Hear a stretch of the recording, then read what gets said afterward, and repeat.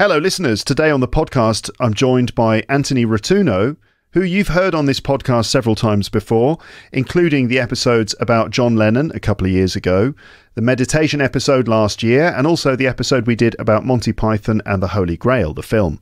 Antony is an English teacher like me. He's also a musician and a podcaster with no less than three podcasts to his name, one of which is called Glass Onion on John Lennon.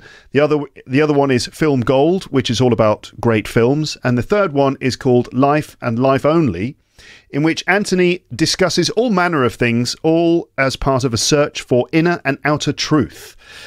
So, you know that on this podcast, I like to feature conversations with interesting guests to give you a chance to listen to natural British English as it's spoken. So, for this episode, I thought I would ask Antony about some of the different topics that I've heard him talking about before on Life and Life Only in order to have a deep and meaningful conversation about life, the universe, and everything. Okay, so uh, hello, Antony. How are you? I'm very well. I'm very scared now about the weightiness of all these topics, but yeah, let's do it. Can I ask a quick question? Because I don't do a lot of video podcasts. Should I look mm-hmm. at you or at the camera? Whatever you, whatever you prefer. Uh, okay. I tend to look at the person I'm speaking to.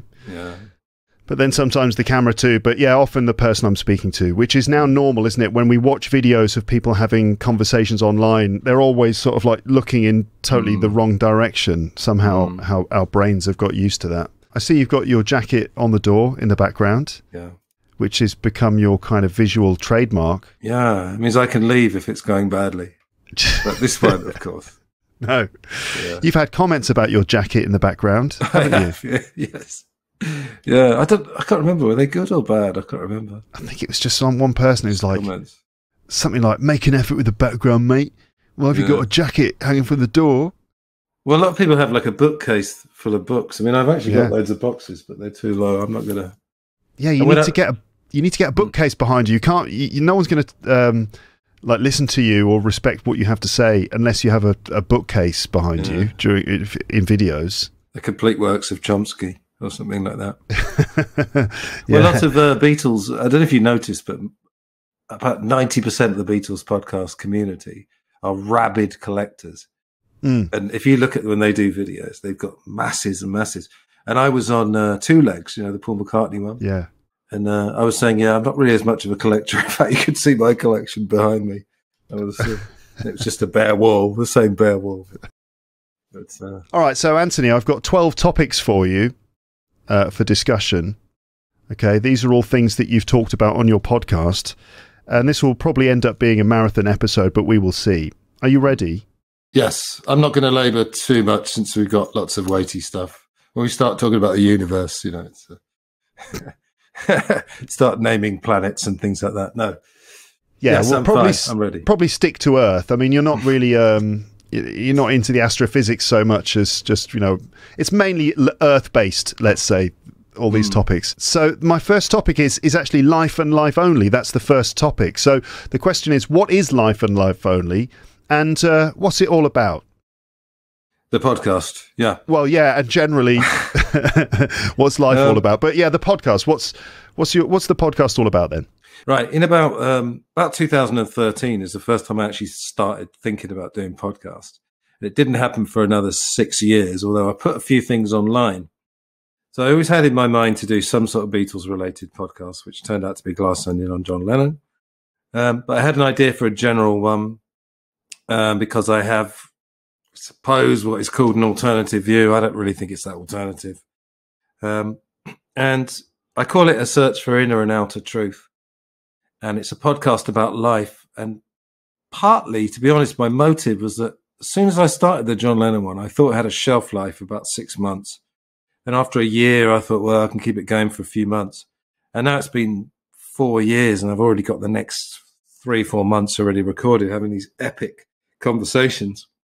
And uh, I kind of thought, if I do a podcast about life, there's no way I'll ever run out of topics. So it's partly that. So yeah, what it is, the inner truth is um, things like life coaching, which we'll get onto, and it's I call it like getting yourself armor plated to take on the world. So it's self development, psychology. I studied psychology at college years ago. Um, and then the outer truth is how you receive information. So there is stuff about conspiracies. Again, I, I, would like to talk about the the phrase, which I guess we are, mm-hmm. um, and how how the world really works, somewhat provably and somewhat theoretically. You know what I mean? Mm-hmm. So I kind of found a way of getting those two strands because my own journey about ten years ago, no, fifteen years ago, I started discovering, let's say, alternative information and I started getting into self development. So I've been on this 15 year sort of learning juggernaut. And I found that there is a way of weaving those two things. So if you look after yourself and if you try and see what life is really like and what's important, you'll be in better condition physically, mentally, psychologically to tackle all the crap plus the good information that's coming in and trying to you know, weave between the two.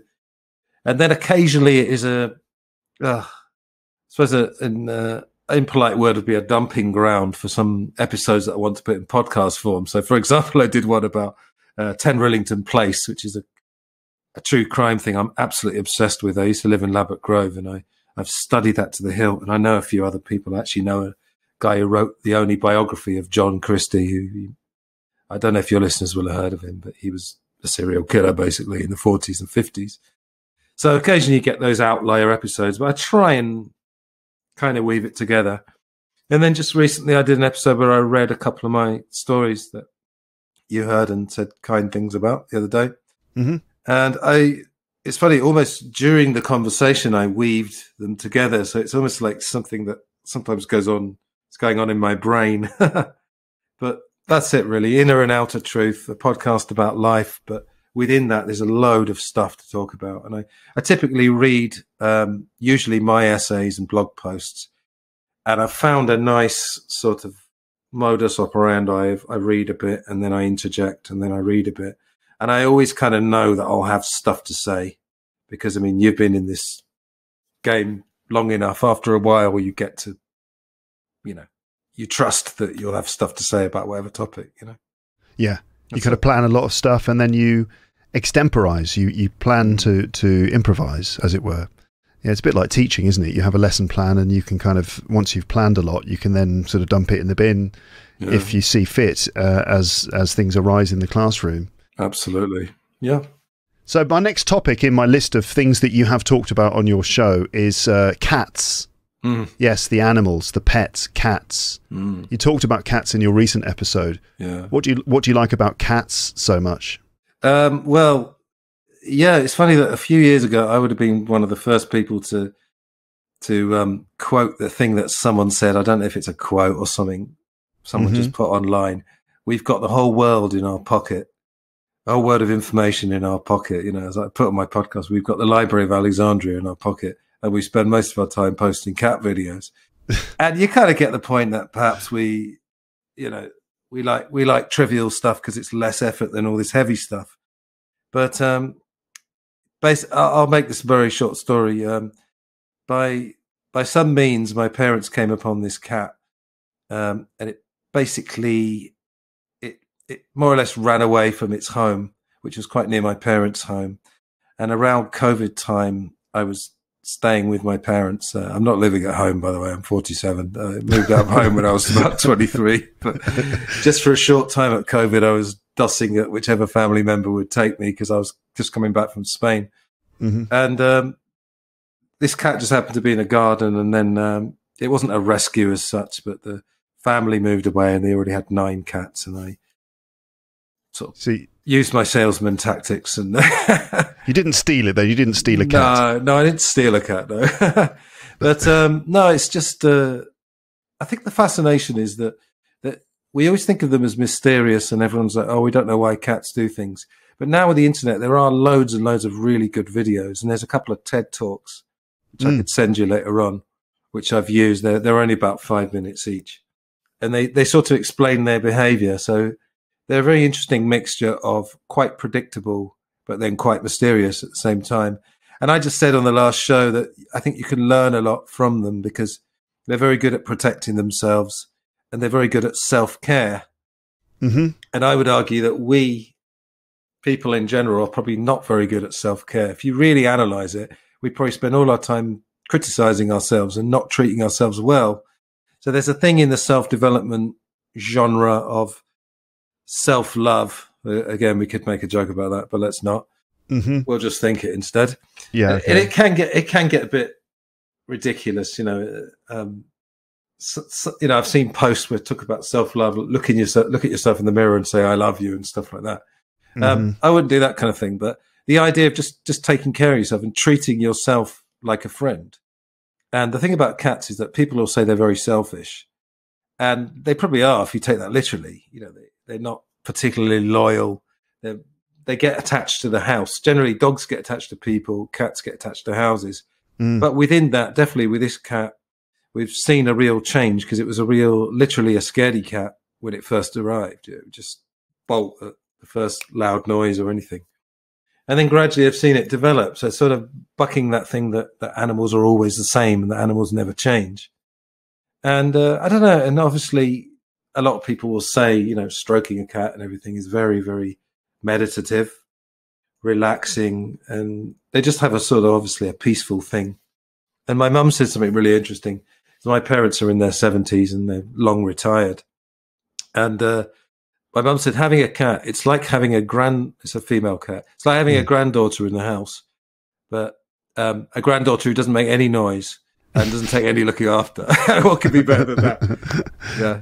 Yeah, yeah, yeah, yeah. Um, yeah, they they always say dogs are very loyal and stuff, and uh, but with cats, it's actually a mistake to think that they're our pets. In fact, we hmm. work for them. Is kind of the way it works, yeah. isn't it? That. Uh, but you also talked about um, uh, the way that cats purr. Oh yeah, yeah. Was that in a TED talk? Mm. The purring thing. Mm. What what was that again? Um, yeah, it was a TED Ed talk, which is not a, someone giving a speech. It's just these animated with someone narrating it.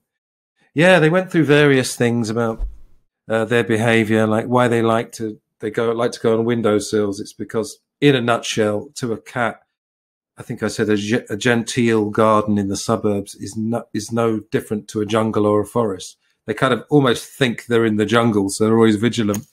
But yeah, apparently, I don't think this is settled science by any means. But um, mm. in this video, they said something about the frequency of the purring um, can actually repair uh, what was it, bone and muscle. I think bone and muscle tissue. Yeah, wow. that's what it said. And they actually said that you know, obviously, a lot of people like to have a cat on them, almost, you know, sleeping on them, yeah. on their lap or whatever. And apparently, again, I can't vouch for the science, but apparently, can heal your bone and, and tissue, bone and muscle tissue. Very interesting idea, though. Yeah, yeah. the frequency of the purring somehow is therapeutic. Mm. But yeah, certainly stroking them and having them around is good, isn't it? It's good for our mental health and stuff like that. Definitely. Yeah, there's someone. Someone once said. Uh, two minutes of stroking a cat's like six months of therapy. You know, they're exaggerating, but you get the idea. Yeah, yeah, yeah, yeah definitely. Yeah. Okay, I'm going to move mm. on to. Uh, I think a completely unrelated topic, except the fact that you know you've you've talked about it recently. It's it's the, the third topic in my list, and that is the Titanic. So a mm. wild um, tangent to deviation, something completely yeah. different, a complete yeah. deviation here. So the Titanic, Antony, um, you did what was it? Two episodes or a whole episode about the Titanic? So why? Mm. I mean, it's a it's a whoa, it's a very stupid story. Sorry, it's a very stupid question.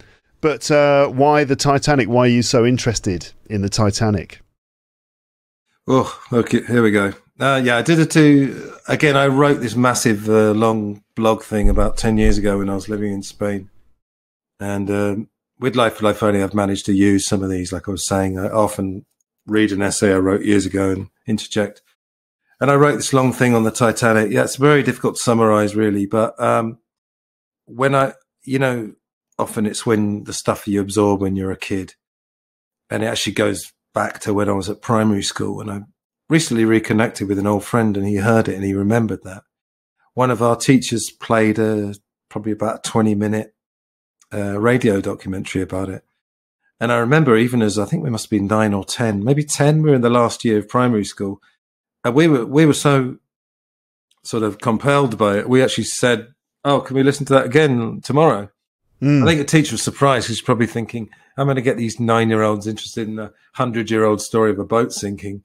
Yeah. Um, in a nutshell, yeah. I mean, it's, it's such an incredible multi layered story about society because at that time, 1912, um, they were living in what's I think Mark Twain called it the Gilded Age, and it was a time before um, you know rock stars, but the rock stars were people like J.P. Morgan and Guggenheim, if you've heard of him, or Macy's. Uh, it's the Strausses who run Macy's in New York.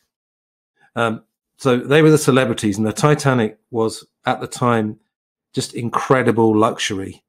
Um, if you look now, it's actually tiny compared to those enormous cruise ships. There's a, mm. I've seen a picture comparing the two. Um, essentially, uh, on the on the ship, people will of course know the story from uh, 1990, the film in 1997. Yeah, they didn't mm. exist, obviously, but some of that wasn't too bad. It was strong on showing you the scale of it.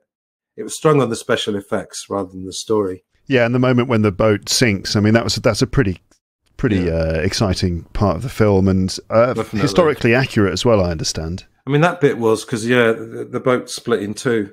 But the yeah. really the really interesting part about it, I mean, it, it's such a study of uh, society at that time and human nature because basically you had three classes on the ship, and the upper class were at the top, the second class were at the, were at the middle, in the middle, and lower classes were at the bottom. Mm. And um, if you've seen, I'm sure you've seen the famous Frost Report sketch, and it's John oh, Cleese, Ronnie Barker, and Ronnie Corbett. Yeah. And the upper class guy's taller. They go down in size and they say, I'm upper class. I look down on him and him. I'm middle class. I look up to him and down to him. Uh, down I, get a I get a feeling of superiority over them. Yeah, uh, that's the middle class guy. Who's like, I get a, a feeling of Barker he's like, I get a feeling of inferiority from him because he has innate breeding, but I get a sense of superiority over him because he is lower class. And yeah. the lower class guy goes, I get a pain in the side of my neck because he's always having to look up at the oh, others. Oh, that's it. Yeah, yeah.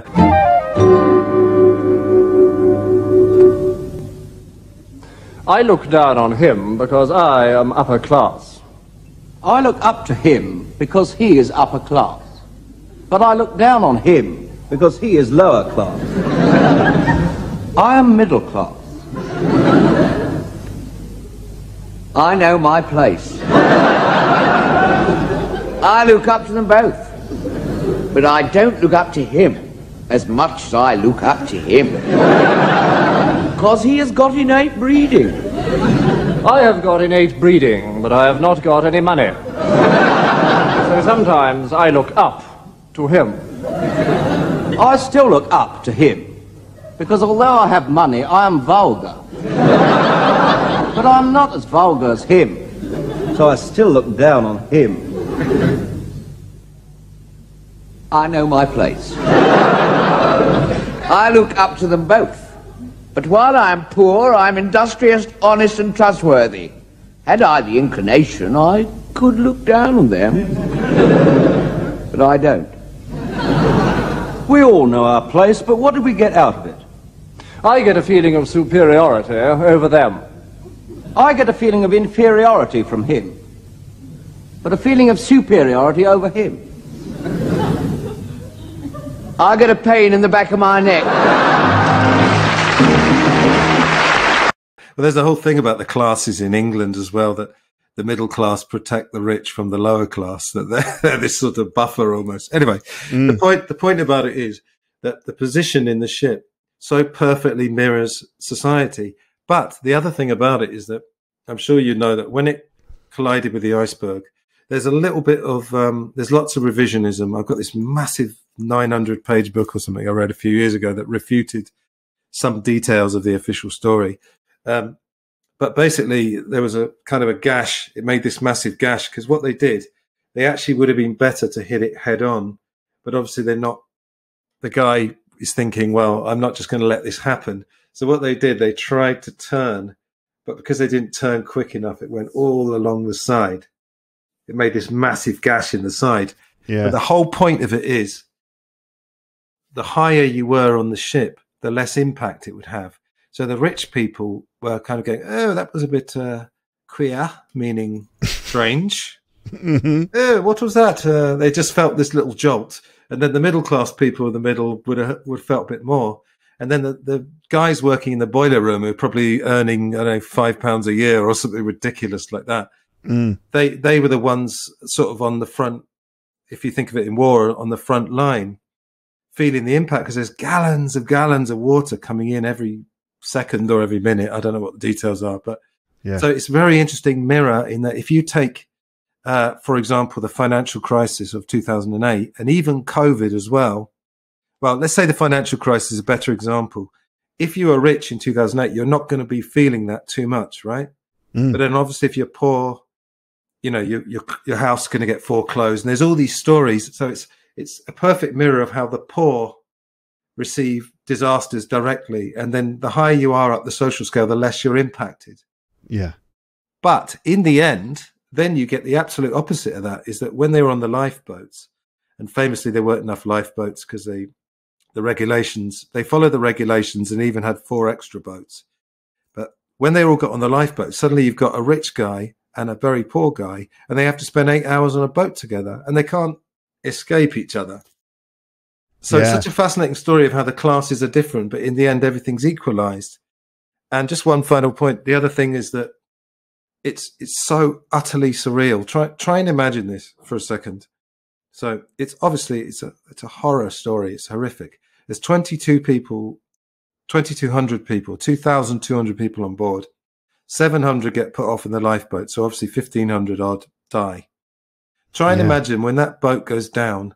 There's 1,500 people all screaming because they're all surely all going to be screaming in in freezing water where the book I had calculates you probably survive about 10 minutes if you're lucky.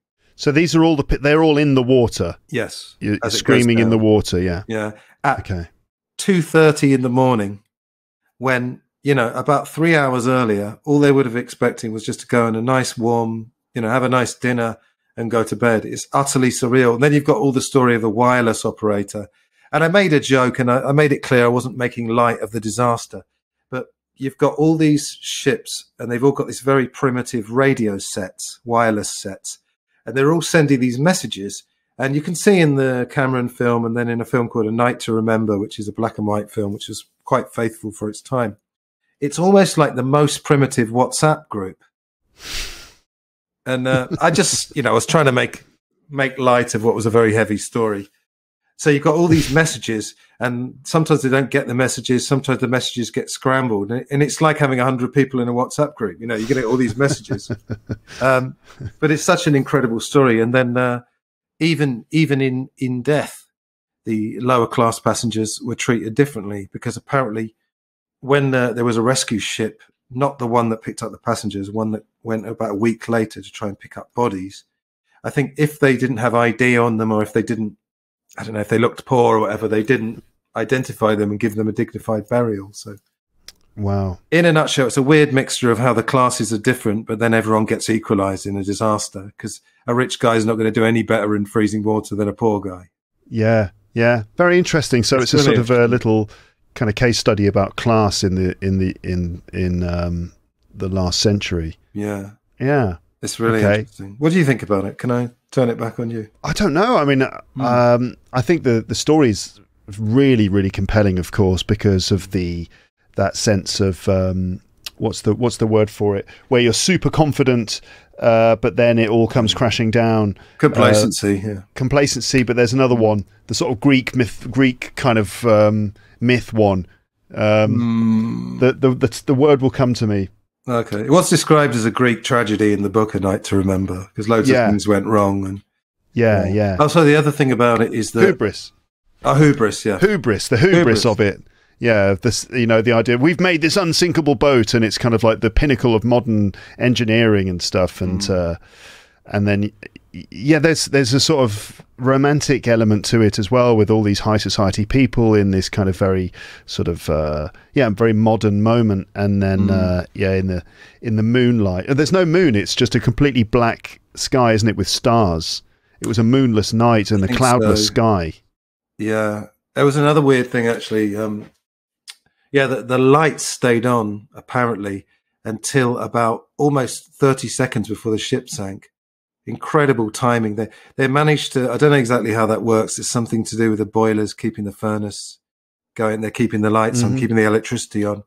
And these guys, you know, they were working till almost the end, and the wireless operator. So there's lots of heroic stories. But then there was a story that I don't know because it's it's very easy to get on the backs of rich people because they are the really rich people do. It's almost impossible for them to be really in touch with the common man, even if they Mm. want to be. But there's some story that um, as it was going down, there was a oh, I think he was called Cosmo Duff Gordon. You can imagine how rich he was, and Lady Gordon. There, there was one. The other thing about it, that one of the boats only had twelve people out of forty. They were also, also underloaded. That's another story that I can't really go into now. Mm. And apparently, as it went down, this lady said to her assistant, "Oh, you'll never get your night dress back." And it, it, it almost seems a bit of a Hollywood thing because you know there's that sort of liberal um, underdog element that Hollywood loves putting in its stories. Mm. That sort of idea: rich people bad, poor people good, which was in the Cameron film, Yeah. in one of the English books actually. Class conscious overkill, they called it. Is is it is in like a headway or or English file Yeah. or something? It's I bet it's uh, live, everybody. cutting edge, No, uh, New English file. New English file, classic, classic course Oh, book. I can't find it. Which do you know, which level? Which level? That sounds like an upper intermediate or an advanced one. Advanced, yeah. Advanced, yeah, I thought so. Yeah. Um, sorry, sorry. There's one one final thing. Yeah, the other thing was that it was a very complacent age, as you said, full of hubris. Um, there is a story that the there's a, a line that Jack the Ripper, which is the famous Whitechapel, that was the end of the 19th century. Quote gave birth to the 20th century because it woke the society up. Because before that, they probably never thought that anyone serial killer could exist. Titanic was two years before the First World War started. Um, it was also one year, in fact, before income tax and the Federal Reserve were introduced. Very That's interesting. on the more conspiratorial side, but it was it was just on the cusp of this four-year sort of slaughter fest, which was the First World War. So it was a innocence was gradually going, and then obviously the 20th century was the death of innocence. Really, if you think about it, yeah. with everything that happened. So and the, the the postmodern era you know like modernism gets to its gets to this point where it's like progress adva- uh, making progress and sort of technological progress until it gets to a point where it's sort of like yeah these disasters happen and the the the the, the technology ends up being sort of um, catastrophic for humans with Yeah. the machine guns in in World War One and and all the rest of it and that sort of yeah I guess led to that postmodern era which is a rejection of a lot of those um, those ideas of progress and modernization. Hmm. Yeah, yeah, yeah, and that, that sort of leads us into that sort of second half of the last century, which was all about questioning what's what it's all uh, about and uh, um, questioning all the narratives and stuff that we'd all as- ascribed to. Yeah, a friend of mine was. uh, We were chatting. We talk a lot about you know the modern world and media and stuff. And he came up with a great line. He said, "No one's quite sure when people are being truthful or ironic. Like everything is so topsy turvy now. Mm-hmm. that you know because the news to me, mainstream news, so resembles a, a kind of comedy show, like a bad comedy show. Because like the day to day. Exactly, yeah. And you did a good. I watched one of your stand-up videos that you, that's on YouTube, right? And you were yeah. talking about how um, the media talks like this. Today, 200 people died in a in an air crash in Nigeria. You know, it's it's, it's, that, it's up here. It's you know, hmm. reports are coming in of an air crash in Nigeria. Yeah. Yeah. That kind of yeah, It's it's very strange. I'm talking, you know, like, uh, yeah, I don't know what the story would be. Reports have come in indicating that up to 1,500 people have been injured in the accident. Yeah. You know, experts are yet to make a statement. That sort of weird register, that, that this tone that they speak in. It's so Mhm. strange. And the other thing is that again, I, I I was listening to a podcast. I can't remember which one it was, and they were saying if you really look at the news, it's like da da da dum. It's exciting music, colourful, lots of bright colours, blues and greens and reds. Maybe not reds, blues and greens. Mm. And uh, it's basically here's loads of here's loads of bad news. Here's loads of bad news. Here's loads of bad news. Here's a nice bit of news at the end about a cat being rescued from a tree. Join us tomorrow for more shit news. Essentially, that is what they're saying. Join us Yeah. tomorrow for up to the minute news. Here's loads of shit news which is going to make you afraid of the world. You know, Yeah. but don't worry. You know, sleep tight, as Bill Hicks would say. Bill Hicks is one of my heroes, as you know. Uh, Mm. very weird. Um, uh, next topic, Antony, is traveling. Um, you've Hmm. travelled around a bit, haven't you? You've been around a bit. I've been around the block a few times. Yeah. Um, so tell me about your travelling experiences. Where have you been? Um, and what, what, what counts as your favourite or most memorable or perhaps even life changing uh, travelling experience that you've had? Well, could I mention the one that I put in the last podcast because I think that worked really well as a metaphor, and I wasn't Mm. really intending it. And again, it was a funny thing where I was reading it and then had a bit of a brainwave, if you like. Um, what have I been? Uh, well, lived in Thailand and briefly, briefly lived in Laos as well. So Vietnam, Cambodia, been around Yeah. that area. South America, I've been to a couple of places, Colombia, Ecuador. I went to India. Um, we could talk about that if you want. It's indescribable. Is the only way I can describe it, or not, or not describe it. um, yeah, it's it's yeah, it's a weird one, India, because obviously the British Empire is so implicated in India's quote unquote development, and some people will say, well, they absolutely destroyed the country. I did meet people in India. You know, I had a lot of conversations on trains because Indians, educated Indians, do tend to speak good English, Mm. um, and a lot of them like like uh, the British Empire and what the British did. But you know, in Spain, they're supporters of Franco. I mean, I, I had a massive. Well, they had an argument, but they were good friends, so it was a sort of a heated, heated debate. hmm Mrs. Merton, let's have a heated debate. it was one of those. No, and and um, yeah, India. It's it's it's so weird in Delhi, okay, which is the capital. I think officially the the capital is is it is it called New Delhi or is it Delhi? I don't know. Not sure. um, It was New Delhi, wasn't it? yes. Hmm. I'm not sure. Yeah. Anyway, I can check. yeah. If you think of if you think of Delhi, you can definitely make a, a distinction between New and Old Delhi, and Yeah. They, they had the Commonwealth Games, for example, in New Delhi. And if you go to the good areas of Delhi, there are these lovely, quite wide boulevards and it's pretty clean. And then you go to Old Delhi and it's, it's like something you can't even describe. You know, the amount of people. And I, I, I took a lot of photos and made some videos while I was there. And, you know, there's loads and loads of, of rubbish and, you know, there's, there's such a clear distinction. And Thailand, I was sort of thought of India as a more extreme version of Thailand because in Thailand you see old buildings next to plush hotels. You see that side by side. But Thailand is developing. Obviously, India is developing in one sense, but I would argue that really it's only the top portion of it that's developing, while the rest is getting worse and worse. Sorry. By the way, I think that New Delhi is the name of the city, and Delhi is the name of the area that the city is in. Uh, But that's my quick uh, answer. Um, yeah.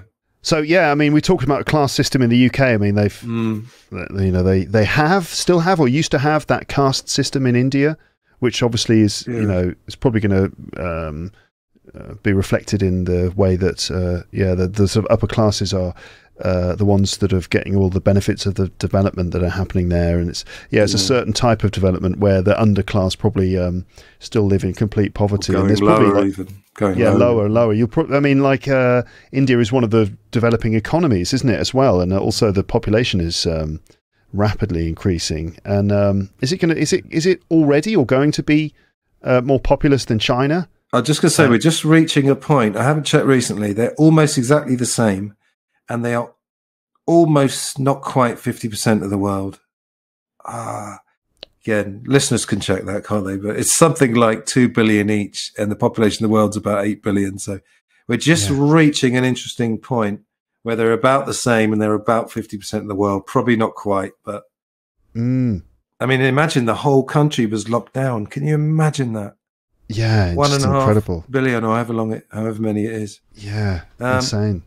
But yeah, I had this travel story. Basically, um, I was traveling around the Mekong Delta. This before I lived in Thailand. I did the old backpacking. a Bit later than my gap year. I think it was about 23, 24, something like that. hmm And uh, I read uh, this story just before in my last podcast, and um, it was funny because I went backpacking.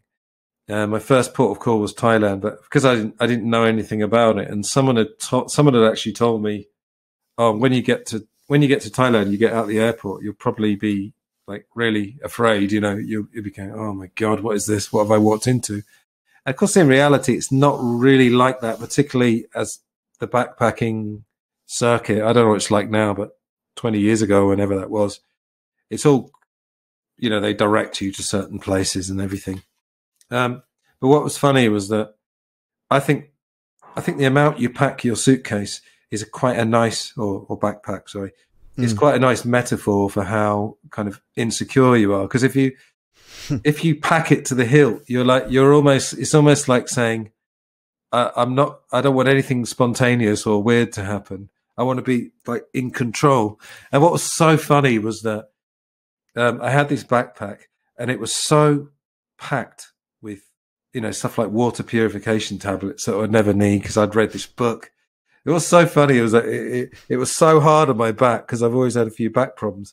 That weirdly enough, it had a handle on the side. So I ended up carrying it, which is obviously like carrying it like a suitcase. And the whole point is that I'm a backpacker. I'm not a tourist. I use a backpack, not a suitcase. And here I am carrying it like a suitcase.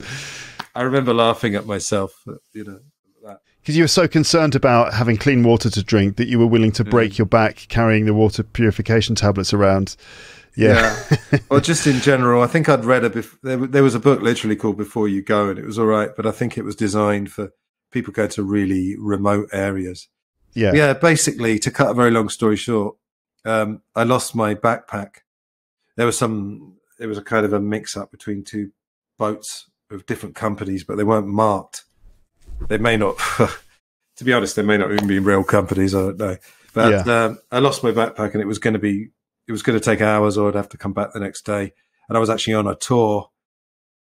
Um, so I suddenly thought, oh, whatever, I'll just let it go. And You had it- your you had your passports and your money Yeah. and stuff in a in a like a bum check. bag kind of thing. yeah. Yeah. Yeah. So you, you you had to like uh, say farewell to your bag. You'd probably never see it again after it went off on another on another boat. Yeah, but the interesting thing, the interesting thing is that the the sort of programmed reaction is to go, "Oh no, I've lost all my stuff." But then someone that I was traveling with said uh, said almost for a joke, "Oh well, you did you were complaining that you weren't traveling light enough," and that's when I thought, "Yes, I'm traveling light. Look at this. All I've got's this. What a player I am. You know, what a great traveler I am."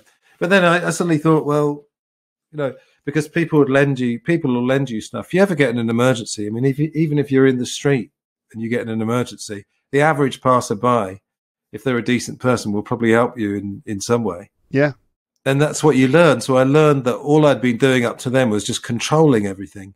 So, like I say, the way, again, it's different. If you have a stressful job and you, you want to go away for two weeks in the sun, you know, I'm not saying for any, in any stretch that's a bad thing at all, but the idea of this was that we had months and we were traveling on a budget, but then I found that I was just controlling everything. And then Yeah. suddenly I had this wonderful opportunity inadvertently to, to, to be more free and spontaneous. So I just thought it worked well. And I, and that going with the spirit of life and life only, I had the idea of like traveling light in your mind, you know, being detached and not trying to control everything and not trying to predict. Mm. There's a, um, there's a, I can't remember, there's a term in life coaching. It's, it's about, it's, it's like clairvoyance or something, but in a bad way in that you're, we're always trying to predict the future and we're always preempting the future, Mm. you know? Um, Mm. so it was living in the moment. So you can travel light in your mind, basically. Yeah, so it kind of like taught you to kind of let go a bit and uh, to Mm. kind of not worry too much and not try to control everything that's happening. Must have been quite liberating. Yeah, definitely. But it taught me a lesson. I've never forgotten it. And then years and years later, when I started a blog, which is pre podcasts, I thought, well, I'll, oh, yeah, I'll write about that. And, you know, I stuck a couple of details in, but it was basically a true story. It's a good episode. Yeah, I, I liked it. Yeah. Um, moving on to teaching English, which you've Mm. done in several places. Um, Mm.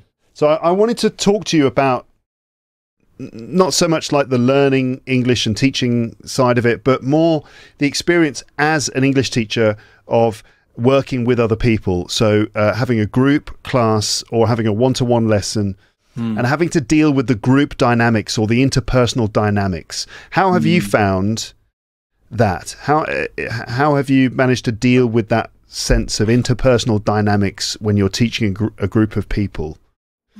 Right. Well, since I'm a psychology guy, as you know, I mean, I, I in one way, it's a wonderful, same as um, I was manager of a William Hill and I, and I hated, it's a betting shop for those who don't know. And I hated the job, but as a, a sort of anthropological study, it was pretty interesting. Yeah. So, um, well, as you know, if you look at it in a, in a technical way, we've got all these icebreaker things to, you know, and let's say, say you get a group of 10 adults. I haven't really taught children since, well, one year I did. Mhm. I was Never again. defeated. Yeah, I was defeated. Apart from the occasion, I had a teenage class in Italy, but they're all quite level, quite high level. I think that's important, isn't it? Say, say you get a group of 10 adults who probably have never met each other. Um, it's very interesting that, you know, if you get them learning each other's names, then that's fine. You know, and there's practical stuff you do. But, but what I found amazing, um, is that occasionally you get 10 people, they come in a room and for some reason, as soon as they sit down, even before they've talked to each other, there's a warm atmosphere. And you just kind of know it's going to go well. And it just goes really well just from the first second. Of course, that lifts me and you and your teaching. You know, we need to be lifted by the students as well as the other way around, right? And then I've had other classes and I just do exactly the same thing.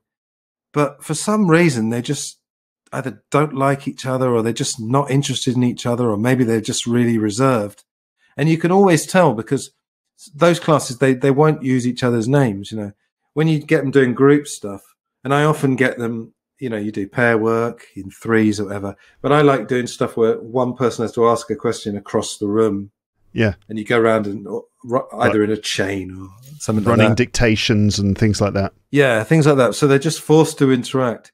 But then you'll find um, they'll often say, oh, oh, you, instead of using their name. Yeah, it's yeah, like, yeah. This could be after three, four months. And it's just, it's bizarre. I can't quite explain it. So obviously it's a good challenge. So really the dynamics thing is interesting. And on the more humorous side, uh, you must have had this. Have you ever had this sort of grammar fiends? Uh, I like people who like grammar because I actually love teaching grammar. Mhm. I'm fascinated by grammar. Um, but have you ever had a student who sort of sits there not saying much, and then out of the blue, for just no reason, he'll go, "Can you explain past modals? What's the difference between may have, might have, and could have?" And I'm like, "Oh, where did that come from?" Yeah. Have you ever had that? Like, uh, Oh, yeah, definitely. shouting out random grammar questions. It's it's hilarious, really. so there's the, yeah there's the people who who basically their entire experience of learning english has been sort of studying the the grammar in painstaking detail. Yeah, yeah. and then they find themselves in a classroom. And so this is now their they they have to somehow square you know put this what is it? Put it to A you- s- Put it to use. you know they have to put these two things together of like so i've learned my journey of learning english so far has been understanding the rules. And now here i am in this kind of communication situation. And so yeah they they kind of like well ah, i better try and impose my knowledge of grammar here. And they will ask a question about grammar which isn't a question it's just it's a test in fact. Yeah i've. Yeah, been test, tested that's it, that's tested lots of times by students. They're like Yeah. sending out these testing questions and you suddenly feel like yeah you're you're being tested and you have to think on your feet. And also other questions like personal questions that they ask you as well to test you. Yeah. like they'll they'll just ask you if you're married and things like that. Um but uh, that, going back to that thing about having like you you do exactly the same thing. One group it just goes really well, the things go really smoothly, and another group you do the same thing and it's just a total disaster. I've also found the atmosphere in a in a room to be completely different. So I've taught, like for example, um, in the same classroom, um, teaching one group where everything's going really well, and you remember the room, you remember that group. The room seems so much smaller in your memory Mm. When you remember like a really good group that you got on with. It feels like it was a small room, and then um, teaching to another group in the same room, but they don't get on with each other, and there's a horrible atmosphere. It feels like there's acres of space in the room, and also the air seems so much thicker and heavier. It's a really weird phenomenon. It's the same thing in stand up as well. You get some rooms where you can just you just feel that there's something really good in the air and mm. everyone's responding really well on the same wavelength and then you mm. get the same another room and you do the same material and it's mm. just a tumbleweed you know so yeah i don't understand that i suppose it's Strange. just the combination of of individuals. It's like you know you mix them up and you you see what you get. Some of them are going to go together well, and others just not. But yeah, that's a very weird thing. Have Yeah. you taught? Yeah. No, I say, I'm, I'm very, I suppose I'm quite, I, I rely on inspiration to some extent. I mean, I can do a, quite a mechanical lesson if I have to. But Mhm. I, I think I transmit, I'm sure you're the same. I transmit enthusiasm when I'm enthusiastic. And I, I make a professional job of not transmitting boredom, but they probably, when I taught kids, I, I felt like they were picking up on absolutely everything, you know, Yeah. adults maybe a bit less, but it's not that the classes necessarily go badly. It's just for some reason they're not interested in each other, you know. Mm. But I suppose then my professional, my more professional side would kick in, and I'd do a more professional, more standard class. But Yeah. with the other ones, I think what you're saying is absolutely right. The room seems smaller because everything's more intimate. And funnily enough, if you watch when people are more, well, we always think that open body language is being like this, but people actually lean in. If you notice, if you have lots of people around a table and it's quite intimate and everyone's sharing personal stuff in a nice way, everyone leans in. So it is literally like Mm. there's a bit less space. It's really interesting, isn't it? Yeah, it is. Mm. Um, what was I going to say? I was going to say something deeply profound.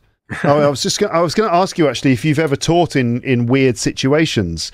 Like, have your classrooms always been fairly reasonable? Have your teaching environments always been sort of fairly good, fairly decent, or have you ever taught in weird situations? Uh, well, right at the beginning, um, when I moved to Thailand, I didn't have a job sorted, but there are, you know, it's not that difficult to find a job over there. Mm. But the first couple of jobs I had were just, just ter- terrible, really. But it was just a, in at the deep end. And, um, to make a generalization, Thai people are pretty non-confrontational. So in a way, it's the best breeding Yeah. ground, if you like. But it was quite funny. I, um, I went to this school. Originally, I was going to be teaching in a high school, which I never actually did. And I did a trial class.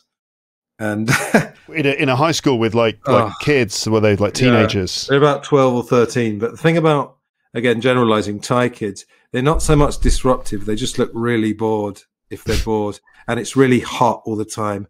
And the worst schools don't have any air conditioning or fans. So everyone's sweating and they just get sleepier and sleepier. And, um, and there was a Thai woman, probably maybe 40, 45 years old.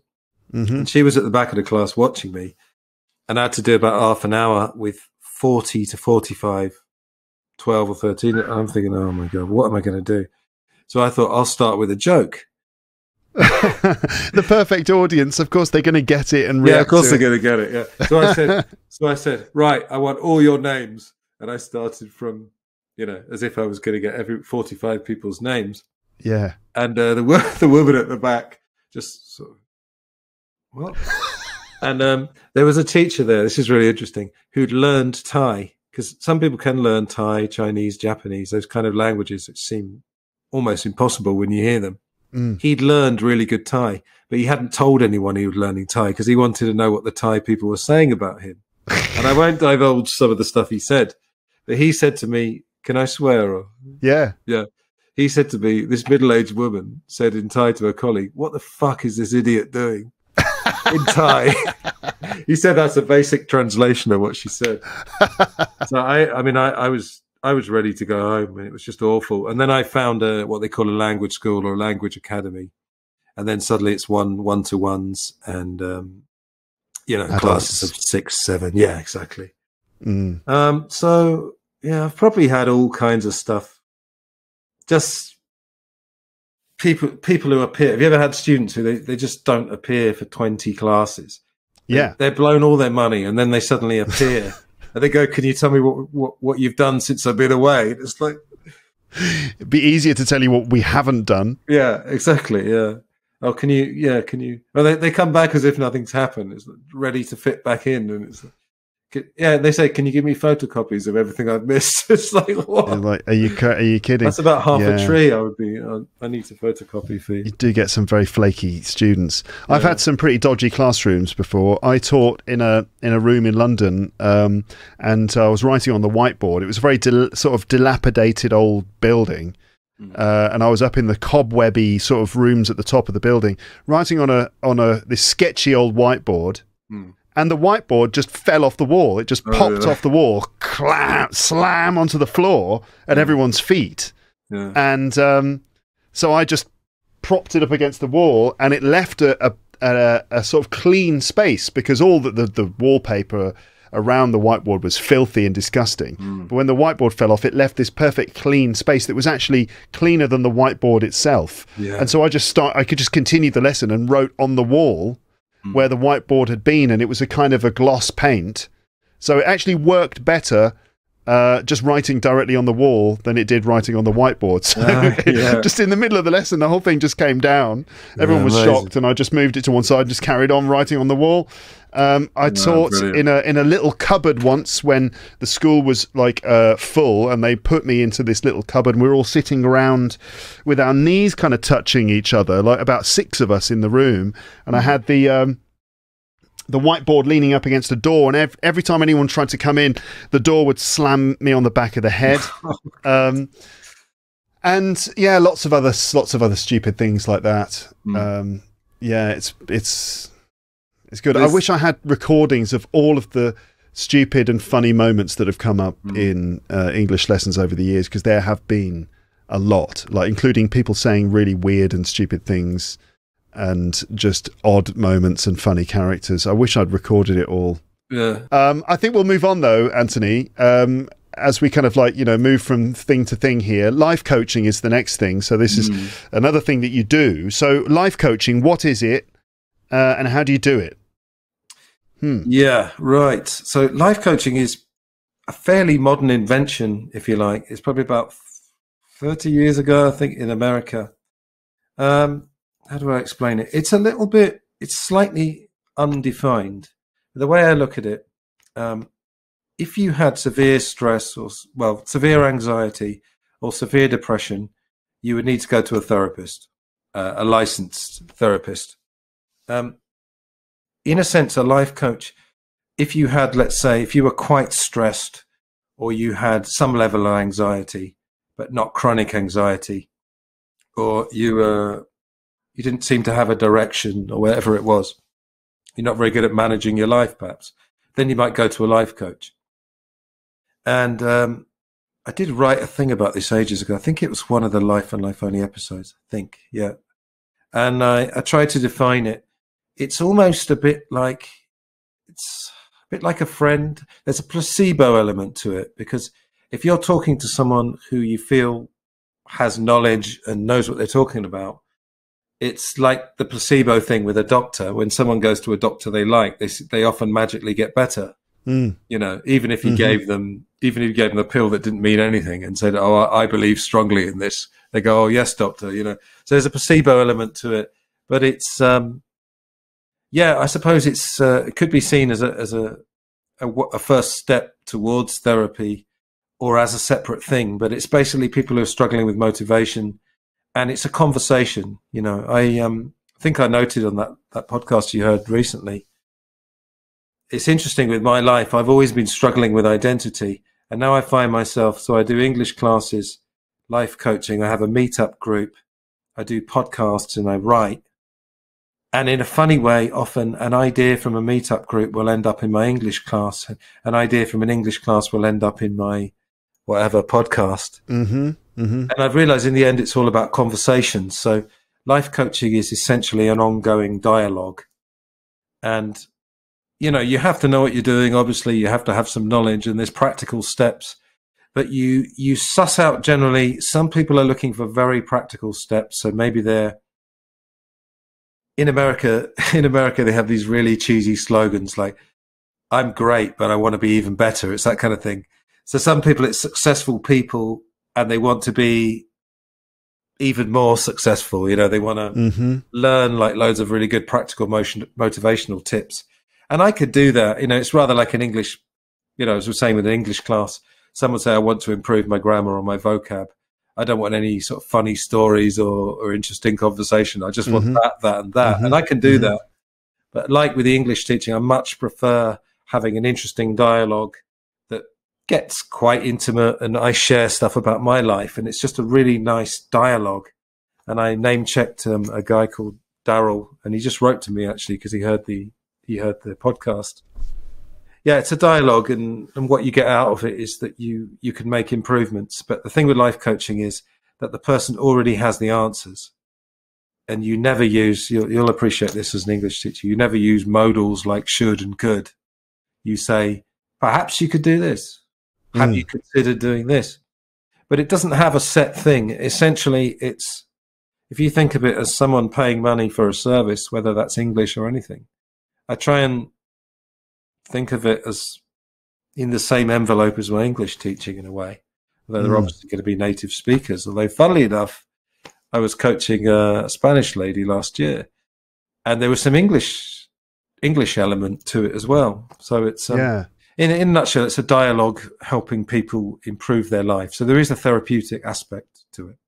Do you ever find that the two sort of switch over? That you just mentioned life coaching, which kind of included bits of English training. Do you ever find that as an English teacher, you end up becoming a sort of a life coach for your students as well? Absolutely. What What are some of the most common areas that you have to deal with in that regard? Just motivation and stuff. yeah, confidence, just confidence a lot, issues. a lot of it's stress. I'm sure you've found this. You you often teach business, um, stressed out business men or women, and they get a double whammy. They get to get everything off their chest while speaking English, so it works great for them. And you do feel like you know you are a listener sometimes.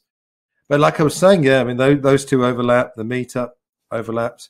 I think when they, I start talking about stuff, and I often impart stuff I've learned from, you know, self development books or podcasts or whatever it is, and it just gradually develops, really. But it's just, you know, they might they might be stressed, they might be lacking direction. It could be anything, really. Mm, mm, Um, But okay. I, I prefer the emotional side to the practical side. But there's a bit of both, obviously. Yeah, definitely. I, I often hear teachers talking about how they also have to be therapists Mm. for their students because there's often often um, uh, learning English. It's not just about you know learning the language and using it, but like uh, the mentality and dealing with confidence issues Mm. um, is a huge part of it. And you sometimes get the impression that people are blocked in terms of pronunciation because they're all it's all messed up with their identity and how they feel about themselves and and things like that. French people, for example, you said you have a lot of French students. Mm. French people mostly generally are quite tra- well sort of traumatized or maybe I should just say they they've all gone ha- gone through bad experiences at school and now they've got these sort of major confidence issues around speaking English because they remember the way that they were treated at school and like lessons at school are all not very much fun. They're all about translating grammar and lots of written work, and they get like very severely criticized and sort of almost punished by their teachers for making mistakes, and they get judged between each other too. So it sort of creates the environment in which speaking English for them is like really a stressful problematic thing and a lot, lot of french people have got very good english as well they don't admit it or they, they're not willing to admit it to themselves they might have a strong accent but a lot of the especially the vocab actually translates really well for them so my wife for example she's french and she'll be talking to my parents and she'll say something and they'll be like wow your english is good and she'll say to me actually to be honest it's just the same in french i just translated it Oh, right. Yeah. Yeah. and often like translating from french to english results in this very impressive english It Um, sounds more elegant, doesn't it? Because they're taking the Latin words. So often it's same in obviously Spanish, Italian as well. If you Yeah. translate it directly, it comes out as really fancy because it's the Latin word, the longer word. you know? yeah, Yeah. yeah that's right Definitely. yeah uh, but nevertheless, you know, yeah, French people often have confidence issues, which is like a whole other set of things. You you can't really solve those problems with grammar rules or f- phonemes and stuff like that. So there's there is always that other element, the human element. Do you teach? Uh, what kind of levels do you teach, or do you teach all levels? I teach all levels. Uh, this year, for some reason, my boss has given me B1 classes, so I'm teaching B1, good solid B1. And last year, right in the middle. last year it was B2. Uh, so those those those uh, are great. I love B2. I think it's my favorite level. B1 is great too. Yeah, yeah. C2 is also fantastic, but then you're dealing with like a situation where for for a lot of the students at C1, that's it. They're not going to get better than that, and getting through to C2 is a is a bit of a mystery, and it's very hard to get to C2 in English because that means uh, being flawless, but also having a certain control and certain level of naturalness in the in the language. And it's hard to really acquire that unless you uh, have sort of grown up in the country or something like that. But having said that, I've met lots of students who do through sheer sort of bloody mindedness and by focusing and studying uh, they actually do break through to, to C2. So that's an amazing thing. What about you? What what kind of groups do you teach at the moment? Well, at the moment, I'm I'm literally only doing uh, remote, so it'd be one to one like this, one to one with adults. Yeah. But I found myself a niche. Yeah, B B one upwards. As, as I'm the same. Just for my mm. listeners, maybe you don't know what we're talking about. So B one is right in the middle, isn't it? Solid intermediate, fairly good. B two is upper intermediate. C one's advanced. C two is proficiency. Mm. That's very good. But then I do have, um, I am teaching a lady uh, who is A2, let's call it, elementary. And I, yeah. and I, I was really dreading it, I'll be honest. Um, but it's a different journey. It's quite nice. And it feels almost a little bit more quote unquote real teaching because you're yeah. taking someone from the ground up almost. Yeah. You know, and I'm not saying that obviously higher levels is not real teaching. It is. It's just a different thing it's a softer kind of thing, isn't it? At a high mm. level, there's a lot mm. more sort of um, yeah fluff that goes along with it in the sense that you end up getting into topics and getting into pragmatics and stuff. Whereas at uh, at A two level, it's about conjugating all the verbs in in you know third person and negatives, and then dealing with different tenses and the basics, absolute basics. Yeah, it's always a frightening prospect when you get uh, an elementary class. You think, oh my God, mm. because there's no sort of breathing space. You know, in, in an advanced class, you can always kind of have a discussion for 15 minutes if you mm. need to. Uh, but with an elementary group, there's really nowhere you can there's go. No flow. There's no flow, really, is there? Well, there could be. There could be, but yeah. Having said that, you mm. can get to a state where you there is some flow, but you have to be quite contrived about it Mm. So it's you end up doing things like playing very limited and controlled kinds of games and things, yeah. or having role play conversations where basically they're just moving around the room, having exactly the same interaction with the same with different yeah. people. But you know, like you know, just what what you know, what do you do? I'm a teacher. What are you doing at the moment? I'm hmm. learning French. You know, and just those sorts of things. Absolutely. It's possible to actually. It's possible to create role plays where you encourage the students to use certain bits of language. But like I've come up, oh, sorry. Mm, sorry. No, I was going to say I've come up with some stupid things before. Like mm. I came up with one which was uh, a village idiot, right? So there's a there's a this this town somewhere in England, and everyone in the town is an idiot, but there's one especially stupid person, and they're all unemployed in this town as well. And this guy is going around, and he meets people, and he basically says, "What are you doing?" and then and they say what they're doing, and he goes, "All right, okay, cool. How long have you been doing that then?" Hmm. And, and they're like, "So it's like, what are you doing? Oh, I'm throwing rocks into this lake. Oh, right, cool. How long have you been doing that? Oh, I don't know. I've been doing it about half an hour. How many rocks have you thrown in? And it's purely to perfect, yeah. present perfect, simple and continuous. How long have you been doing it? How many have you done? Mm. And that can go on forever. And it's like really funny as well if you get them to do really stupid things. Like, what are you doing? I'm I'm I'm I'm thinking about Pamela Anderson. Oh right, mm. right. How long have you been?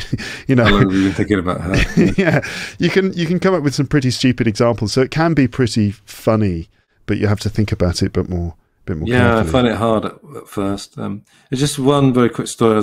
when we were talking about English teaching in Thailand, um, I've had high level students. There are some very high level students generally people who've lived abroad. And we were talking about Thai society, and we made the same point that when you go outside your own country and then come back, you get a much better idea of the, the limitations of your own culture. Yeah. And to me, as a Westerner, Thai culture seemed more extreme and it was more collectivist. This guy, he'd learned this word collectivist and he was really happy with it. And we had a long discussion about individual versus collective.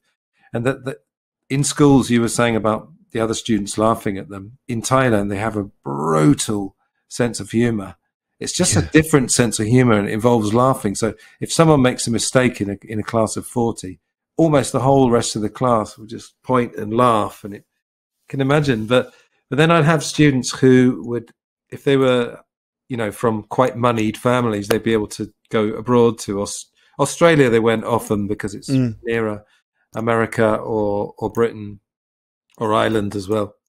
And uh, often a couple of people came back. They were young people, 18, 19. They came back from three months in Australia or the States, and they'd want to talk about Thai culture.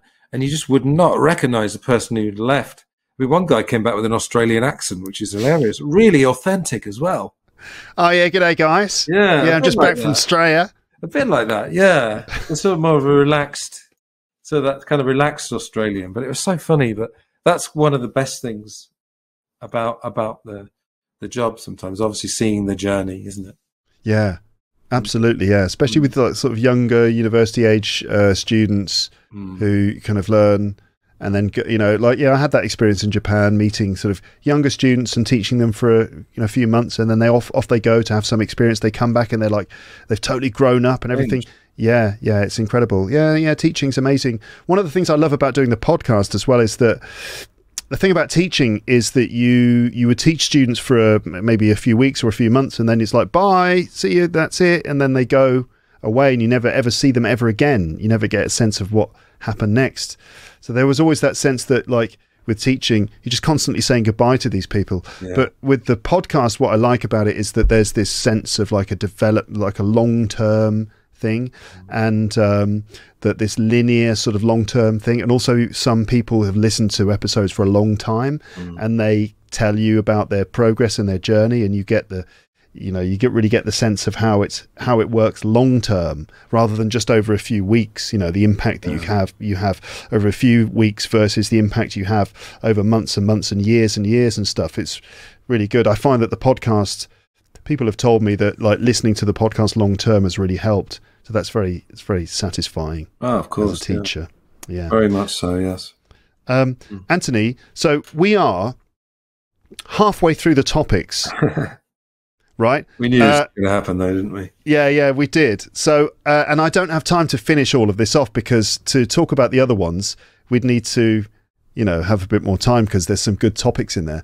So, would you be uh, available slash willing to kind of conclude this conversation at a later date? Yeah. Yeah. Want to do a bit more, or have you got time now? I don't really have time because I've got to go and pick up my daughter, which is sort of was a sort of unexpected thing. So I think it's probably best if we uh, we pause here and then we can continue and deal with the other six topics that I've got lined up for you uh, nice. later on. I Should we, think we can quick, probably should we do. do a quick plug for the other thing we're doing in a few days? Sure. So next week we're going to do a recording for one of your shows, Film Gold. Hmm.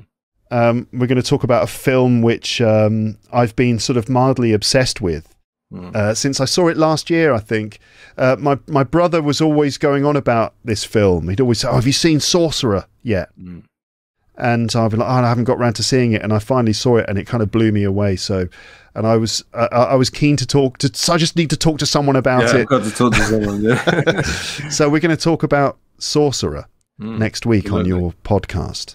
So Yeah. people will be able to listen to that at some point. I don't know when that will be out, but maybe by the time this is published, which will probably be in the summer, um, maybe it will be Oh, really? You're publishing this in the summer? yeah, I Ah, expect so. Ah, did you, you thought I would publish it straight away? No, Did I had no idea. No, I didn't Yeah. know.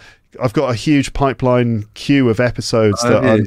I'm just pumping out episodes because my, my wife is pregnant with our second child. Ah, congratulations. Thank you. So, uh, sh- so uh, the child is due at the beginning of July. So I am trying to make as many episodes as I can so that I can get like about two months without having to record anything. So this will be a, uh, by the time this comes out, I'll probably be sitting on the end of a bed somewhere, desperately trying to stop an infant from crying or Wow. something like that. Mm. Okay. Exciting. Yeah. Okay. Well, Antony, thank you so much for talking to us all about these sort of various things. Yeah. Um, and uh, I guess people can listen to the actual podcast if they want to, if they want to hear more of this kind of stuff. What's the best place to, to, to get your stuff? How do people find your work? Uh, it's basically everywhere. Life and Life Only is on Podbean if you want to go to the, the actual website. And uh, there's a YouTube version, which I, I use a different picture for each episode. So it looks, it's quite eye catching when you look at it. And that was episode 37, the last one. But we'll be talking about other ones, won't we? But yeah. Yeah. Yeah, and I, I read a couple of stories. So it was that travel story, and then there was a weird one called Pure Heaven. I don't know. Yeah, yeah, yeah. next time what you thought about that because it was Yeah. weird. It was it was during a period of insomnia, um, and I woke up and almost wrote this story, not quite automatically, but it was the closest I've ever come to automatic writing, as they call it. Because then I, I went, I managed to get back to sleep, and when I woke up, I, I sort of had a vague memory. Oh, what was I doing at four o'clock this morning? And I, so it was it was quite. It's called Pure Heaven, and it was quite pure in a sense that I'd never really done that before. So. Uh, Yeah, it's an interesting story. As I was listening to it, I was like thinking, wow, this is pretty inventive stuff. And I, I, I was kind of like half listening at the beginning uh, as you told the story at the start of your story. You describe, so basically, this is a story listener about uh, how Antony ends up going to heaven and he describes what it's like in heaven and stuff. and, uh, but you also talk about how you get killed and how you end up going there. And, and y in the story, you get stabbed as part, like there's a fight outside a pub and you get stabbed. And I was listening to this and thinking, oh shit, did he really get stabbed? Uh, so for a moment, I thought it was real, but then I realized, ah, no, this is this is his story that he came up with, Yeah. uh, and then you end up in heaven. Very interesting stuff. Um, so life and life only, listeners, you can get it wherever you get your podcasts. You'll Yeah. find links in the description um, or in on the page for this episode on my website. Uh, but um, right, well, I, I must go now because I've got to make sure that my child isn't left sort of uh, defenseless, hope just on her own. Fight, fending for herself uh, in the middle of Paris. I need to go and get her. Uh, but uh, it's been great to talk to you, Antony. And Right. Should we I stay on the line for a minute or something? yeah, we'll stay on the line for a minute Okay. after I stop recording. Okay. But uh, yeah, I look forward to doing part two. Excellent. Thanks a lot. Cheers.